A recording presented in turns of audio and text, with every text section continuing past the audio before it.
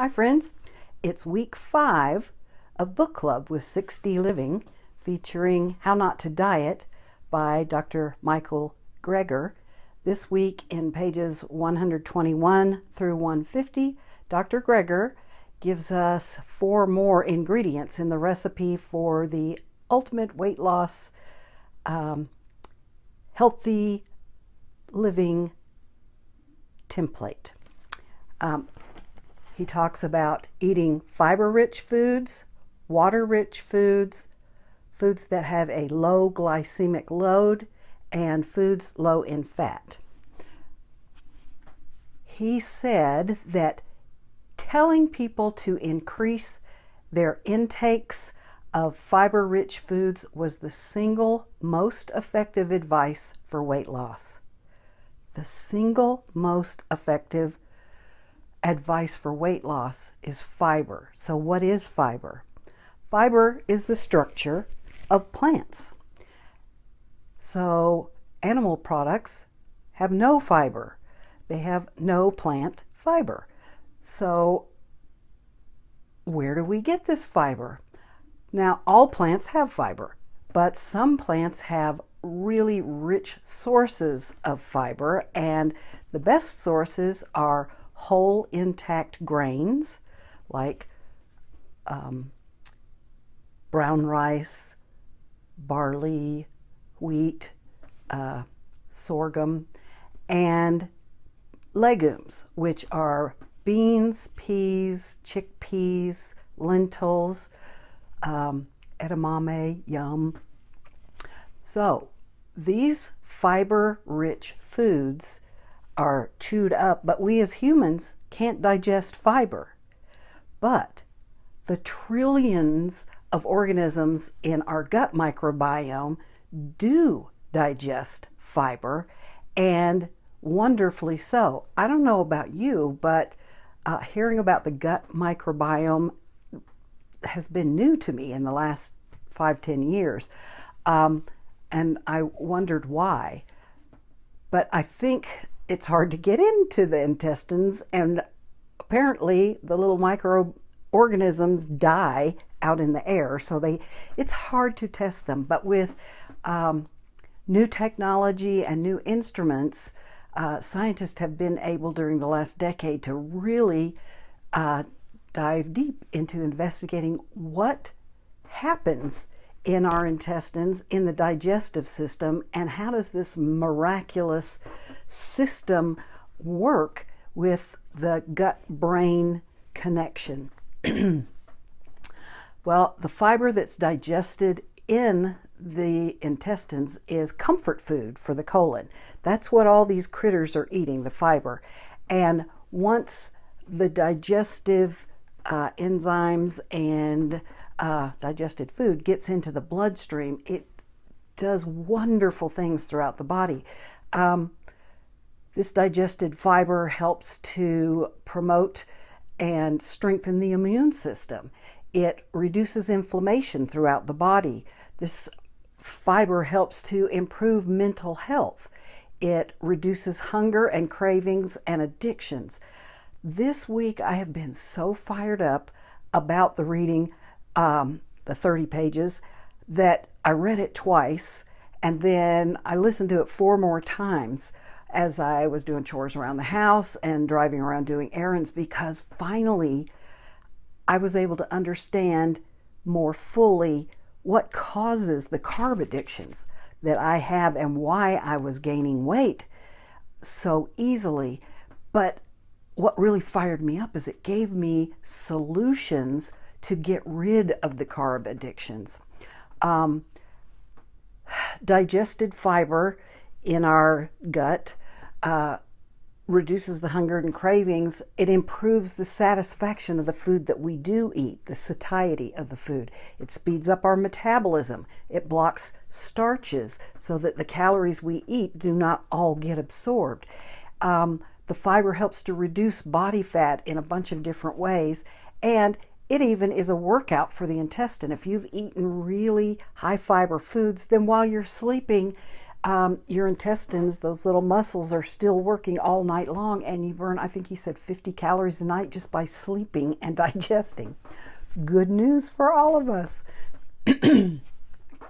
um, the digestion process creates short chain fatty acids. I'm not going to go into all the science behind that and all the big words and the statistics. However, the two points that the short chain fatty acids um, the two points that stuck with me were that um, they stimulate leptin, which is the hormone that makes us feel full, and those short chain fatty acids suppress the hormone ghrelin, which is the hunger hormone.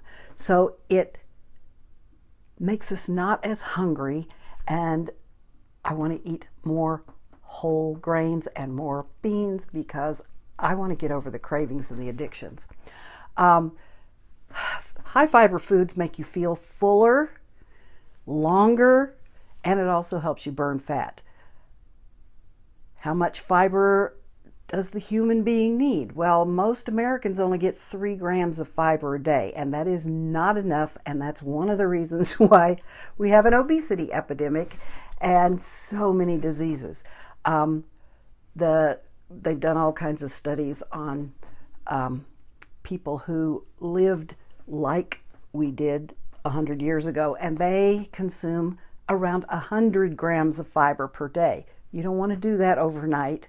You would overpower your system, but we want to be increasing, increasing, increasing so that we can get our body in homeostasis and optimal health.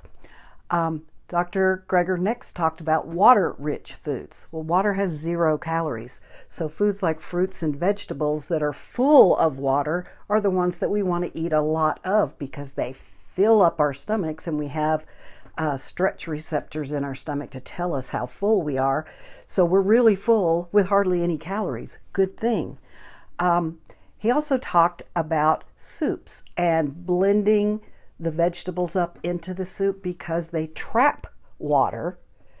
Like if you were just to drink a glass of water, it would flush out of you very quickly. But if you blend that water up into your soup, the fiber um, helps to trap that water and it carries through the system. And of course, it um, it works itself through slowly and gradually, but keeps you fuller longer. Um, next, Dr. Greger talked about eating foods that had a low glycemic load. What does that mean? Um, it means foods that digest slowly keep your blood sugars at an even keel. Foods that have been stripped of fiber just flush or dump right into your bloodstream immediately and it um, spikes your blood sugars and then that creates uh, it causes more insulin to be created and all kinds of problems and fat storage more quickly. I don't need fat storage more quickly. Um, how fast calories dump into our bloodstream determines how addictive they are. So, foods that are devoid of fiber, um, like highly processed foods, are going to be much more addictive than foods that have a lot of fiber and they're harder to eat and slower to eat and slower to digest.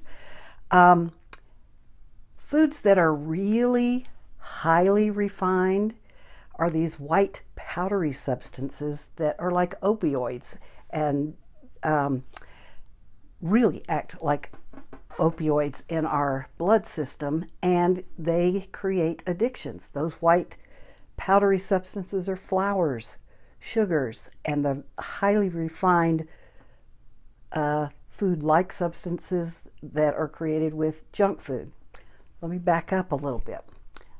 I realize that I am a carb addict. I understood that, but I all all vegetables are carbs, so I am not addicted to corn on the cob. I can eat one or two ears of corn and I'm satisfied. I am not addicted to that. But you take kettle corn, and I could eat a thousand calories of that while I'm watching a TV show without even thinking about it because it's covered with salt, oil, and sugar. And um, those highly refined, Dr. Goldhamer calls them drugs, um, cause addiction. Quick, quick uh, insulin spike, quick, yeah, blood sugar spikes is what I'm going for.